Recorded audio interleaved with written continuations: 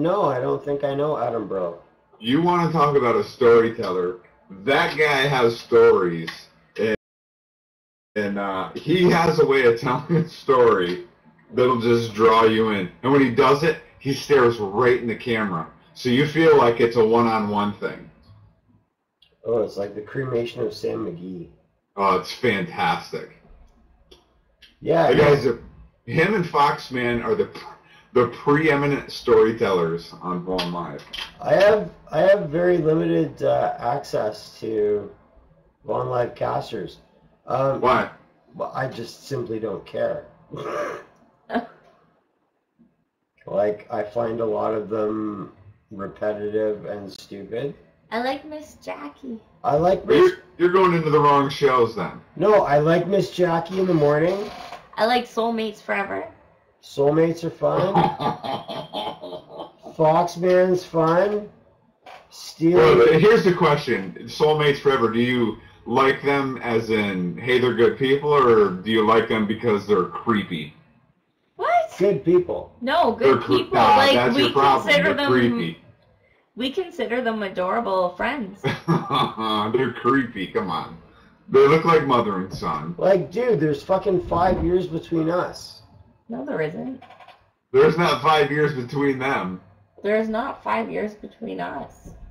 How old are you? Who are you? I you? love how Joe lies and Allison calls him out on it Who the fuck- immediately. Who the fuck are you?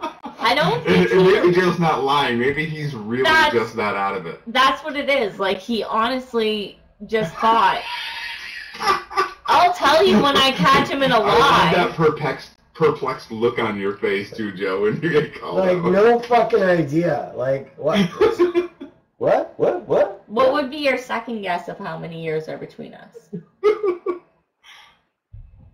Please count on your fingers, Joe. Please. Three. That's right. So I'm 44, you're 41. No, I'm not 44? no. That's that's Foxman's fine. Yeah, how old you are, bro. Oh my god, I'm not even 41. Yes, you are. I am? Wow. Wow. Am I 44? No. I'm 41. No. 42. Yes. Uh, which makes you 39. Correct. What? Oh, fuck, I gotta trade you up for a younger. It's true. Like it's Trade kind of you up for actually younger- Joe. overdue. Not only better, you had you better start treating her good because she's a good person, but you're going to be shitting in your pants like a 90 year old by the time you're 50. No, I didn't say treat her better. I said trade her up for a younger. Yeah, I know what you said. You better keep her and do everything you can. Oh, are you kidding? She's gonna be like shoving fucking suppositories in my ass or gonna kill me. Joe, if you lose Allison, what are your odds that you're going to get anybody with this kind of a mind? Yeah, it's a razor Uh, sharp mind. You have to. Zero to 100%. I love that he said my mind, not my tits. Oh, well. Tits are, tits are tits. No, that was really like Tits, nice. Tits don't matter. I appreciate that. You can't carry on a conversation with your tits for long. No, well, I don't like. You- They're really interesting. Like I can, They are, but you know what? It's not going to carry you. I can talk to them for a while. How long did you say? It's not going to carry you 20 plus years. No, no, no.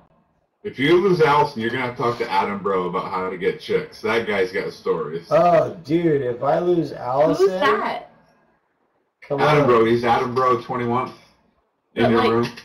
What? Like, what's his? He had an ex-girlfriend. Um, oh fuck, I, I forget the details, so forgive me, Adam. I think he was banging another chick once, and it was his ex-girlfriend, and she caught him, and she chased him down the street to the house, and and pulled a knife on. It's this crazy story, Wow. crazy story. It's like that time you found the weird underwear in our apartment. Oh my god, that day was insane. I just thought they were yours. I had no fucking idea. Wait, what? Okay, so there's this. Oh my god. So. You found underwear in Joe's apartment? I found underwear. In our apartment. Yeah. So we had just moved in together, and it was the second time in our relationship that we had tried moving in together. The first time it didn't really, yeah, it didn't work Roommates out. suck. So Family members suck even more. Because you weren't sure if you you wanted to commit to a 400 pound guy. no, no, it, it didn't have anything to do with that. Uh, it was because um, he was a horrible boyfriend for a lot Mhm. of years. Like he was a really terrible boyfriend. I Yeah. I left him several times over the years that we've known each other, and uh, so what was the question? Underwear. Oh yeah, Underwear. holy motherfuck! So I just come out of the shower or whatever, getting ready for work in the morning. You know, I come out, Joe goes in, he's in the shower. I come into the bedroom, I'm like, you know, just doing my normal, whatever. And I look, and there's this pair of underwear on the floor that are not mine. This little thongy pair of fucking underwear is sitting gracious. on our bedroom floor. But the thing that's like crazy is that like, you know, we work almost the same hours, everything's like there's just no, No, the crazy thing is I am not stupid enough to bring my skank home to fuck. Well, that's not what I taught said, but initially it's like, well, like when or what or how? Well, if I can, I, I know there's an end to this story, but men will find a way. And yes, they are stupid enough to do that. Go ahead. Okay, so then he's in the shower and I'm blow drying my hair or doing whatever in the bedroom and I'm just fuming like I'm like freaking my like heart's pounding I'm all upset. He comes out and I'm like what like what are these? Or I don't know what I asked you but something. I presented you with these underwear. And he's like what? Like These aren't mine. oh right. Like these are not mine. And they were in here. Whatever i said. I was so mad. I don't even know. And it was a long time ago. So the look on his face he's immediately crestfallen panicked uh like just doesn't know what to do with himself. And immediately I knew, because I had already known him for a ton of years, that he had absolutely no- no idea where these underwear had come from. So he's like stammering and trying to, you know, ah, like what's, you know, those aren't your underwear. Like, are you sure? Like, what's, you know? They've been there for four days. So we go. I haven't had sex in seven.